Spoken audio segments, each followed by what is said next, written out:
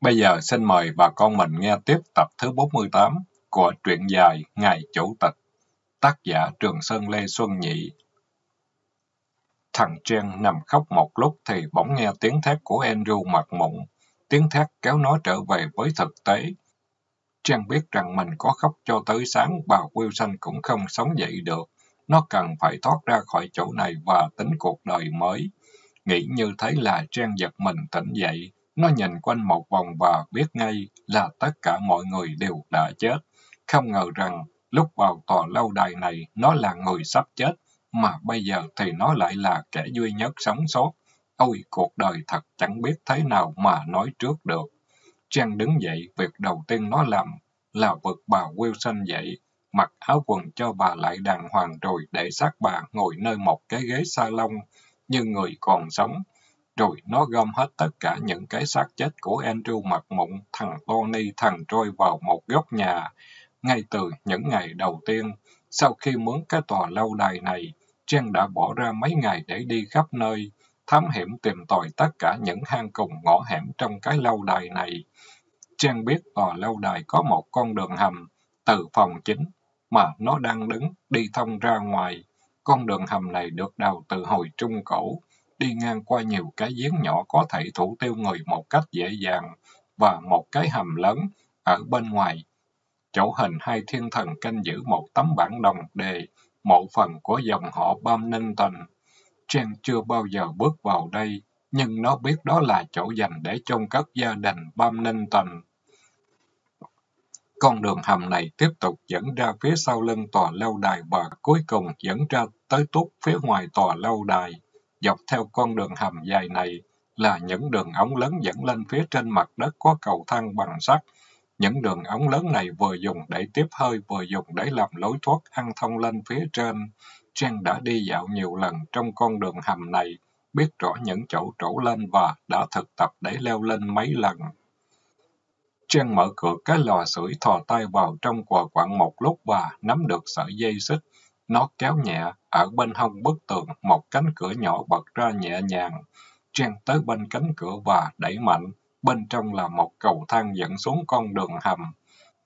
Trang lần lượt ôm từng cái xác một. Mới đầu là Tony rồi đến Troy và cuối cùng là Andrew mặt mụn. Khiên xuống đường hầm rồi bỏ xuống một cái giếng cách đó chừng 10 thước. Giếng sâu cỡ nào không biết, nhưng nó quặn sát xuống mà tiếng kêu nghe rất nhỏ. Quặn hết ba cái xác. Trang trở lại căn phòng và tiếp tục dọn dẹp sạch sẽ.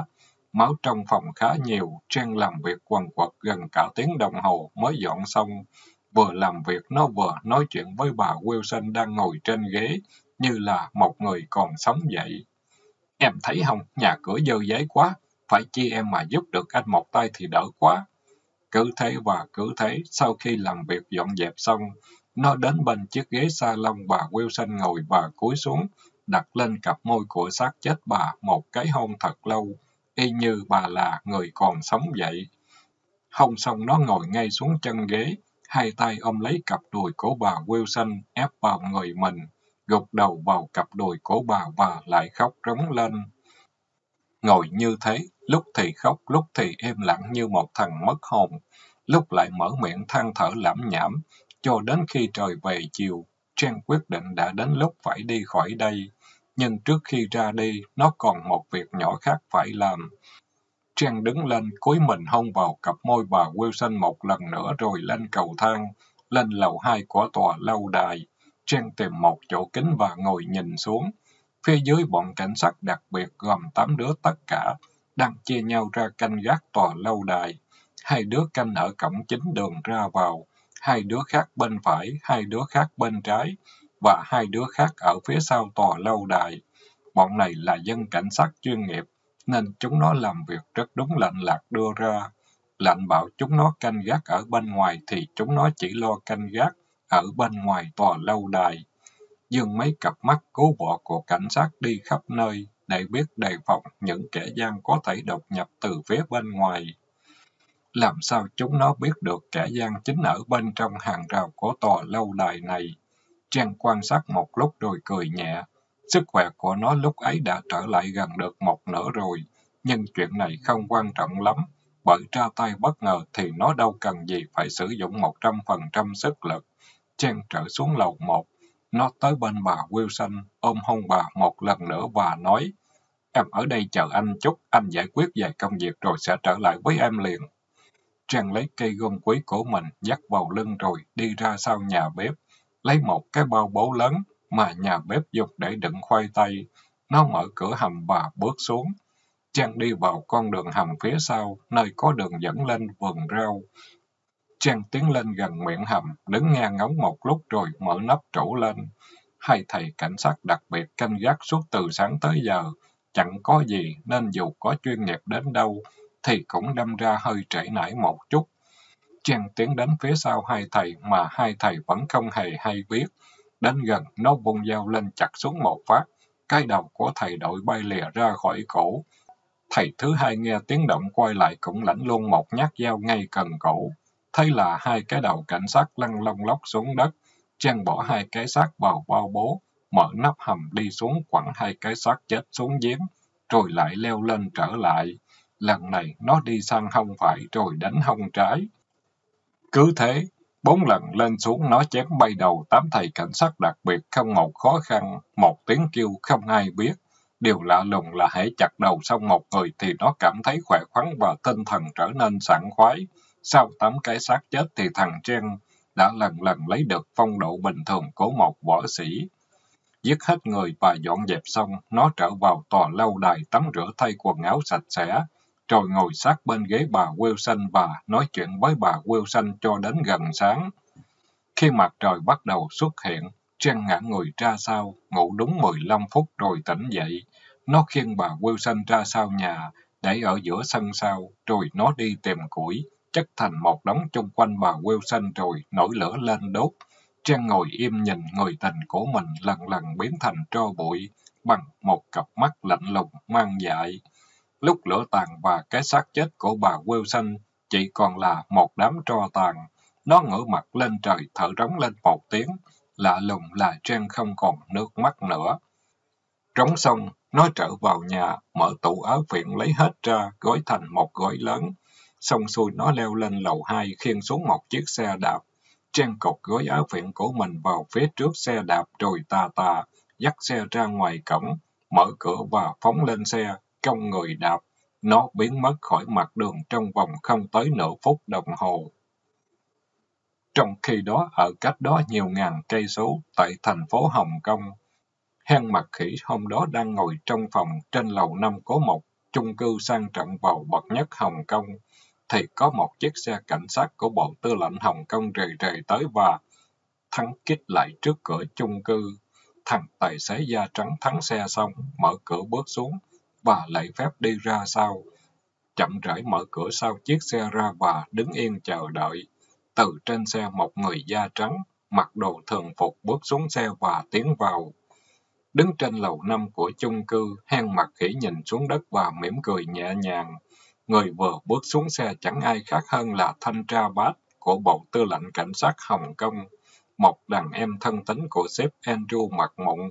Thanh tra bát đã xuống tới đây thì chắc chắn là sếp Andrew mặt mụn phải muốn mình đi sang London để giúp đỡ sếp.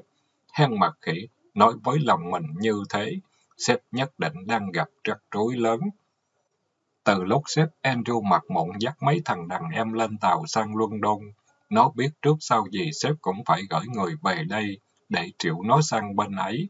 Hen mặt khỉ biết sếp Andrew mặt mụn chưa phải là đối thủ của thằng Jen, Xưa nay thằng Trang chịu liếp vế ở dưới trướng sếp Andrew mặt mụn, chẳng qua chỉ là chuyện nín thở qua xong. Sếp Andrew mặt mụn nuôi thằng này trong nhà, giống y như chuyện một người thợ săn một ngày nào đó vào rừng bắt được một con cọp nhỏ và đem nó về nhà nuôi và dạy dỗ như một con chó trong nhà. Người chủ nghĩ rằng mình nuôi nó như chó, thì một ngày nào đó khi lớn lên, nó sẽ trở thành chó giữ nhà cho mình nhưng người chủ đâu ngờ rằng con cọp khi lớn lên thì lần lần trở lại tính cọp, và một ngày nào đó nó sẽ quay lại để giết chủ mình, ngày đó đã đến. Người duy nhất trên cõi đời này có thể trị được thằng Chen là hen mặt khỉ. Nó biết rằng trước sau gì rồi thì sếp Andrew mặt mụn cũng sẽ gửi người bắt nó sang London. để giúp sếp tìm ra thằng Trang. Tuy nhiên, mọi việc xảy ra hơi trễ rồi đây. Hen mặt khỉ nói với mình như thế và tiến tới mở cửa chờ khách. Thanh tra bát và hen mặt khỉ là chỗ quen nhau từ trước. Hen mặt khỉ mời thanh tra bát vào nhà, mời nước uống. Thanh tra bát nói liền. Tôi không có nhiều thời giờ hen mặt khỉ à. Đây là cái điện tính của sếp Andrew mặt mộng đánh sang từ London, gấp lắm. Hen mặt khỉ cầm cái điện tính và đọc những lời lẽ vắn tắt và cọc cằn như sau. Hen mặt khỉ, tao cần mày ở London gấp. Nhận được điện tín này, dọn quần áo và đón chuyến tàu thủy sớm nhất, đi qua Luân Đôn. Lặp lại, tao cần mày ở Luân Đôn gấp. Thanh tra bát sẽ đi theo mày. Thấy mặt mày của thanh tra bát có vẻ không được tự nhiên như thường ngày. Hen mặt khỉ hỏi, Sếp bà trở ngại bên Luân Đôn phải không? Ông thanh tra nhún vai, Y có thể. Chắc chắn là gặp trở ngại rồi, bằng không thì giờ này ông không có ngồi đây để chuẩn bị đưa tôi lên tàu đi Luân Đôn.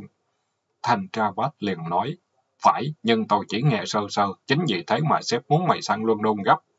Hang mặt khỉ để cái điện tính lên bàn, lắc đầu nói, tàu thủy bây giờ đi sang tới London cũng mất hai tuần lễ.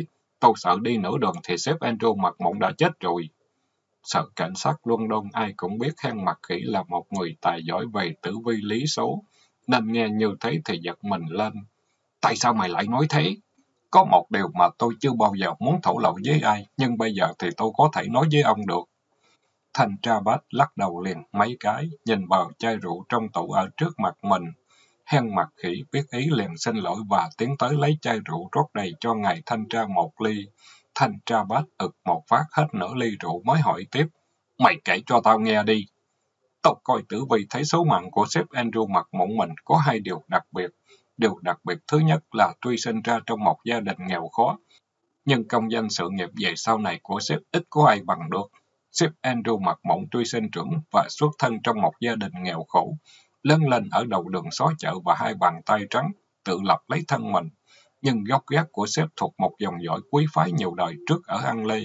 Dòng dõi này không biết phạm tội lỗi gì, nên bị trời phạt. Con cháu dù có tài nhưng vẫn bị thân bại danh liệt, bất hết tước hiệu của vô bang nhà cửa lần lần phải bán sạch và con cái phải sống nghèo khổ. Tuy nghèo khổ lầm than, nhưng máu quý tộc, tài an bang tế thế của mỗi người trong gia tộc vẫn còn. Chính nhờ cái tài an bang tái thế này mà sếp Andrew mặt mụn mới làm lên được tới chức tư lệnh cảnh sát Hồng Kông. Việc này do may mắn một phần, nhưng cũng phải do sự tài giỏi và khéo léo của mình làm nên. Không phải ai cũng từ một viên cảnh sát quen mà lên tới tư lệnh cảnh sát Hồng Kông được. À, chuyện đó thì tao đồng ý với mày, sếp là người có tài. Còn về chuyện quý tộc thì cái tên bom ninh tình của sếp cũng là một tên của một anh hùng thời Trung Cổ, đã từng dẫn quân đánh nhau với giặc Viking nhiều lần. Nhưng sự liên hệ của sếp Andrew mặt Mộng và quận công bom ninh tình không biết có liên hệ gì với nhau không, cái đó cần phải tra xét. À, nhưng dòng họ bom ninh tình là một dòng họ bị nguyền rủa. À, nguyền rủa như thế nào? Những người trong dòng họ này nếu sống nghèo hèn thì ai cũng thọ tới 70 hay 80, nhưng hãy ai càng làm lớn thì càng chết sớm. Thanh tra bát nghe tới đó thì sợ quá, đưa ly rượu lên nóc một phát cạn sạch, hang mặt khỉ tiếp. Nếu sếp chỉ là một anh cảnh sát viên thường thì có thể thọ tới 70 tuổi hay hơn, nhưng sếp làm lớn quá thì khó mà sống lâu được, sếp làm lớn quá nên khó sống thọ. Hèn mặt khỉ nói tới đó ngừng một chút lắc đầu rồi tiếp. Cái chuyện lạ lùng thứ hai của sếp là sếp sinh ra và lớn lên ở London, suốt đời bung ba ở Nam Châu bốn biển, nhưng cuối cùng chết thì lại về chết ở thành phố London của mình. Mà cái hay là không phải chết ở bất kỳ chỗ nào trong thành phố London, mà lại chết ngay chính trong căn nhà cổ mà tổ tiên mình đã xây dựng nên mới là chuyện lạ. Lúc sếp chết, sếp sẽ được chung cùng chung với tổ tiên của mình. Nghe tới đó thì thanh tra bát đưa liền cái ly ra trước. Ê, cho thêm ly nữa. Hàng mặt khỉ rót đầy ly rượu, thanh tra bát lắc đầu giọng trầm ngâm. Đọc ý rằng mày xưa nay là một người nổi tiếng về tử vi lý số. Mày nói ai chết thì người đó chết. Mày nói ai làm tướng thì người đó làm tướng. Nhưng trong trường hợp này, nếu nói rằng sếp Andrew mặt mộng chết, thì nghe không có được. Sếp chỉ có thể chết bằng một cách duy nhất, là trên đường đi về London, tàu có thể gặp bão tố rồi đánh chìm. Nhưng sếp đã lên tới đất liền một cách an toàn rồi, làm sao có thể chết được? Mày nên nhớ rằng thành phố London là thành phố an toàn nhất thế giới, thủ đô của đế quốc An Lây mà. Hơn nữa, chung quanh xếp lại luôn luôn có hàng chục thằng cận vệ đi theo bên mình, làm sao ai có thể đụng tới sếp được. Một lý do còn lại là nếu sếp có chết thì chỉ vì lý do sức khỏe, nhưng sức khỏe của sếp vẫn còn tốt, không bệnh hoạn gì sao mày dám nói thế? Tuy nói cứng như thế nhưng bàn tay cổ bát vẫn rung lên bằng bật. Xưa nay thằng này đã nói cái gì thì ít khi nào trật. Hen mặt khỉ lắc đầu cười.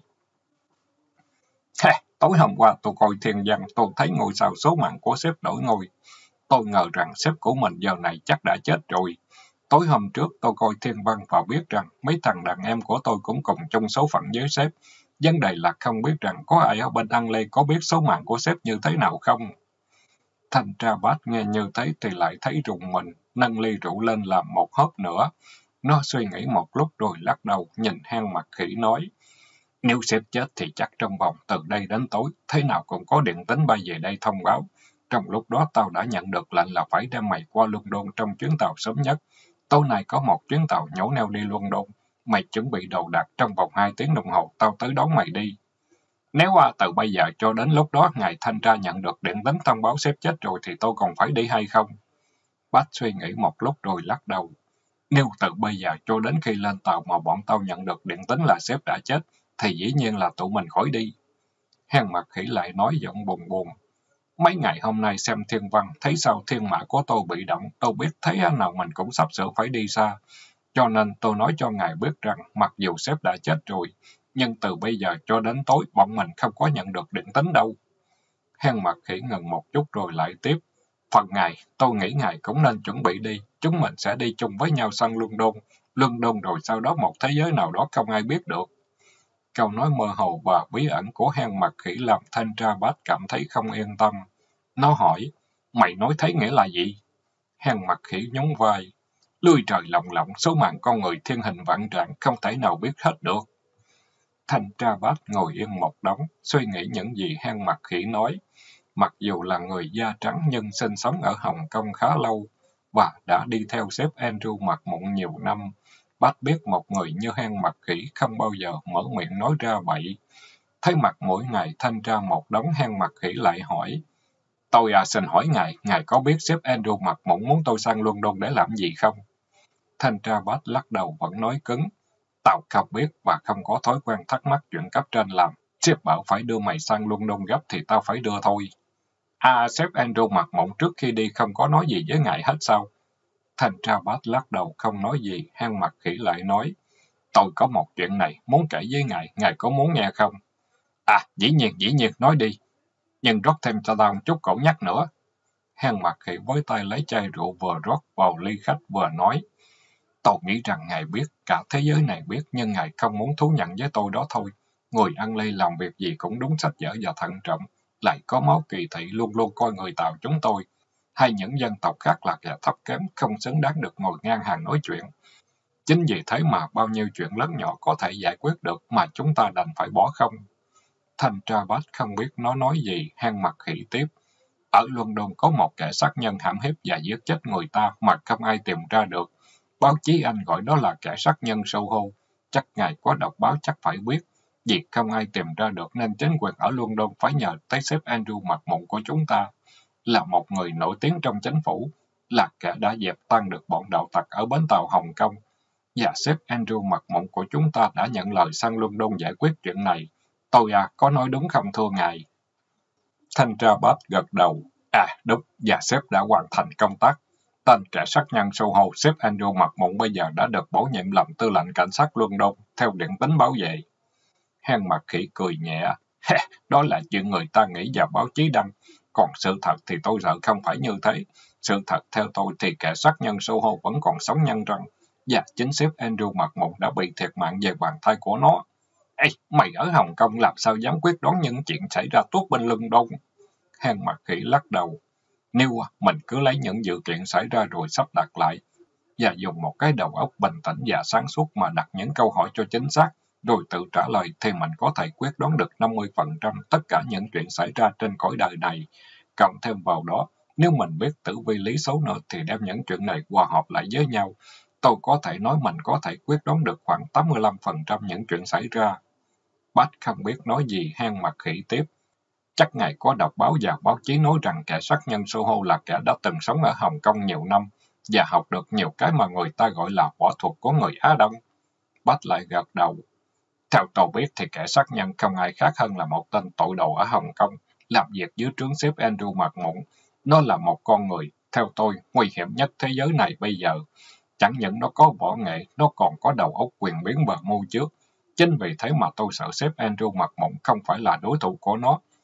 Hen mặt khỉ nhìn ngài thanh tra một lúc rồi nói, trở lại câu hỏi, ngài có biết tại sao sếp Andrew mặt Mụn muốn tôi sang An Lê không? Để giúp sếp giải quyết việc kẻ sát nhân sâu hô có đúng không? Đúng thế, nếu sếp diệt được nó rồi à, thì sếp không mất thì giờ cho tôi sang bên đó làm gì.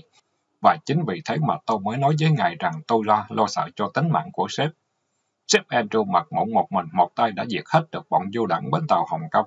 Làm sao có chuyện có một thằng du đảng cắt ké nào ở London hay ở Hồng Kông lại có thể hại sếp được?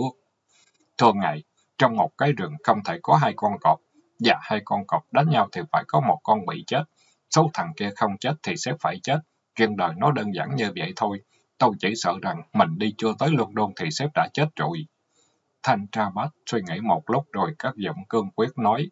Việc sếp chết hay sống là một chuyện mình chưa biết được, chưa thấy được. Trái lại lệnh của sếp bảo tao phải đưa mày sang London thì tao đang nắm trong tay đây.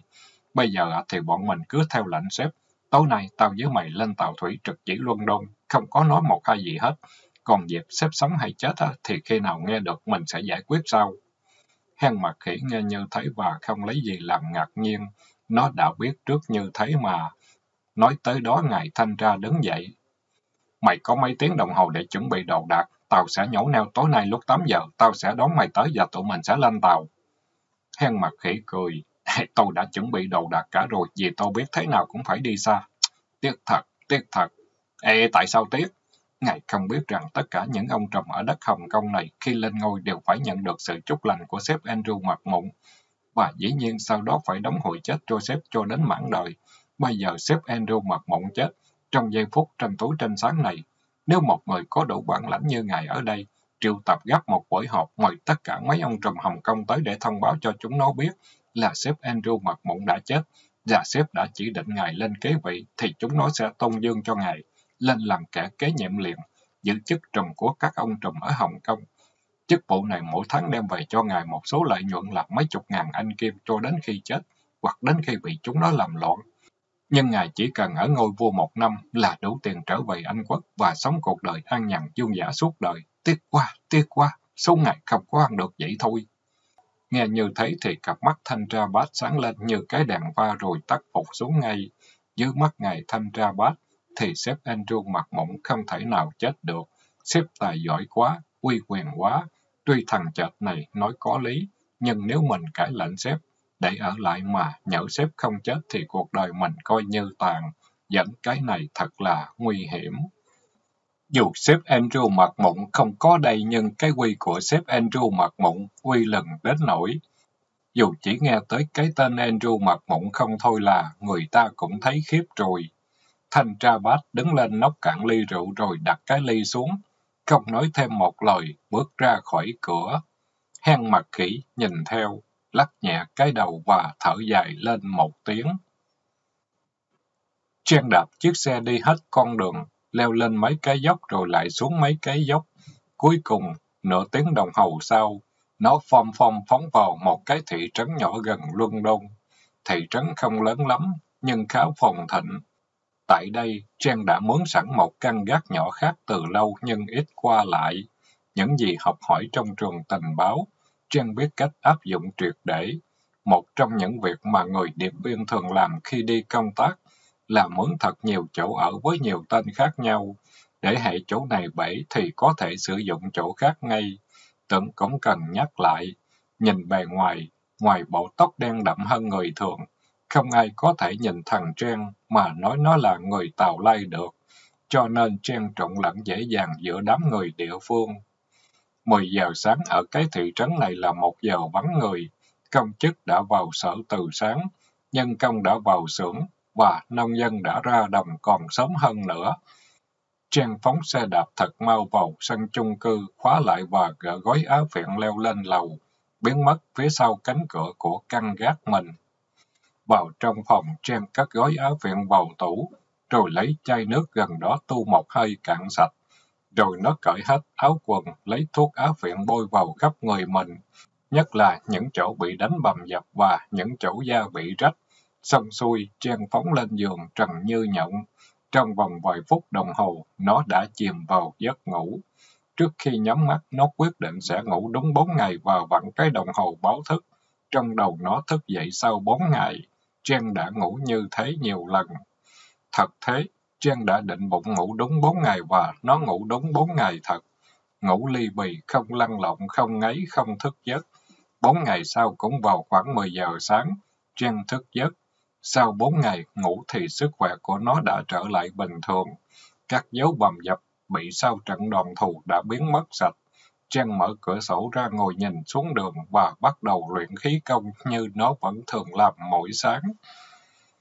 Nửa tiếng sau, Trang bước xuống khỏi căn gác trong một bộ đồ vest mới. Với dáng điệu phong lưu nhàn nhã của một gentleman người ăn lê chính hiệu, Trang ra sạp báo mua một tờ báo rồi tìm một quán cà phê, kéo ghế ngồi xuống. Nó đọc phớt qua những tin tức quan trọng trong ngày. Hàng tít lớn của tờ London Times chạy. Đến bây giờ, tân tư lệnh cảnh sát London cũng vẫn chưa trở về. Cảnh sát đang réo riết tìm kiếm. Phía dưới, người phóng viên tường thuật cho biết, tóm tắt những gì xảy ra như sau. Sau khi thành công trong vụ triệt hạ kẻ sát nhân Soho và được đề cử chức vụ tân tư lệnh cảnh sát London, ngài Andrew Bumnington đã biến mất cùng với đoàn tùy tùng của mình. Không ai biết ngài đi đâu và ở đâu. Thị trưởng London cho biết trong vòng 24 ngày nữa, nếu ngài Henry Bumnington còn được giới giang hồ Hồng Kông gọi là Andrew mặt mụn không trở về, thị trưởng sẽ cho thay thế người tư lệnh mới. Nhiều nghi vấn đặt ra về vụ biến mất của ngài Tân Tư lệnh. Thứ nhất, có thể ngài đã bị đồng đảng của kẻ sát nhân Soho trả thù. Thứ hai, có thể ngài đã trở về lại Hồng Kông. Nhưng chuyện này khó có thể xảy ra, bởi vì cảnh sát đã đi hỏi tất cả các thuyền bè ở Hồng Kông, nhưng không ai nhớ là đã nhìn thấy ngài Tân Tư lệnh cùng đám tùy tùng. Thứ ba, ngài Tân Tư lệnh là nạn nhân của một âm mưu trả thù ghê gớm, của giới anh chị bánh tàu, bởi vì cách đây nhiều năm, Ngài chính là người đã diệt sạch bọn anh chị này. Cuối cùng, người phóng viên cho biết, nếu có tin tức gì mới, dân London sẽ được biết ngay. Cũng ở trang đó, trong một cột khác, một phóng viên khác chạy mấy cột kể lại cuộc đời anh chị của Andrew mặt mụn. Bài này thì không vô thưởng vô phạt như bài lúc nãy, Trái lại, người viết đã mô tả Andrew mặt mụn như là một tên cảnh sát bê bối, tham lam, nhiều tật xấu, cũng như nhiều thủ đoạn hèn hạ. Không hiểu tìm được tin tức ở đâu, phóng viên kể lại những chuyện động trời đối với dân An Lê thời đó, như chuyện nghiện thuốc phiện, chơi bời và tệ nhất là mang bệnh bạo dâm.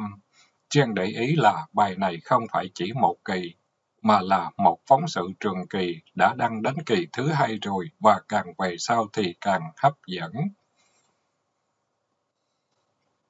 Tập thứ 48 đến đây chấm dứt. Xin mời bà con mình nghe tiếp tập 49.